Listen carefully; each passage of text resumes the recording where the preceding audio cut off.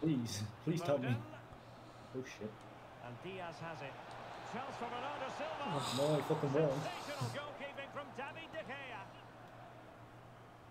Who can he pick out? Well, the danger is this? still there.